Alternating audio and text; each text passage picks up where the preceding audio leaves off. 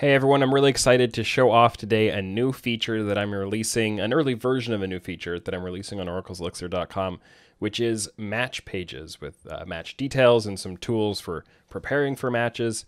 Uh, and, and it's a bit of a framework that's going to allow a lot of other things to slot in later, but I'll show you what's coming out to start with. So when you go to the Oracle's Elixir homepage, there's this area uh, in the sidebar, in the right hand sidebar called matches, where you can see some upcoming matches. Uh, if there are any live, you could see those here, and then you can see recent ones as well. And this is a way that you're now going to be able to click on these to access match details. Now, I'm, still working on building a, a, place where you can, you know, search for matches from different teams or from different leagues, or, or uh, you know, find a whole list that way. But for now, you're going to be able to access matches from here and uh, primarily the the matches page is useful for seeing upcoming matches. But um, that will be extended in the future. I wanted to get this out in time for Worlds and, and have it be useful for then.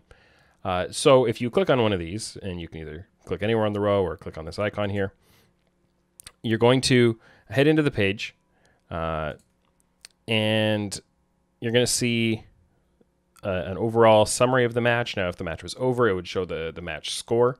Um, you know, whether it's a 1-0 or a, a 3-1 or whatever that match ended up being. Uh, you're going to get rosters of the two teams, including stats from the current tournament, or if the current tournament hasn't started yet, from the previous tournament. Um, so you can see here the 100 Thieves Academy and Team Liquid Academy rosters, and they've both got extra players due to subs and so on, but a lot of the time you're only going to see five players per team here. If you scroll down a bit, you're going to see recent games. Now, this is the same uh, information that you get on the team's profile. Um, so if we, you know, click through the 100 Thieves Academy profile page, you're going to see these recent games. It's going to be the same thing. Um, but here you're going to get that. And You can see for both teams, so you can just look recently what compositions have they been playing and uh, who have they been facing, and you know are they winning a lot, losing a lot. Both these teams have been winning a lot lately, of course, because they're in their up bracket of proving grounds. Um, so this is some some information, and then what I think a lot of coaches and analysts will find especially useful, um, because draft preparation is such a big deal, is the recent drafts tab. So if you go over, you're going to by default um, select one of the teams uh, but you can switch back and forth between either. And just take a couple seconds to load. Uh, and you can see a timeline of the team's drafts.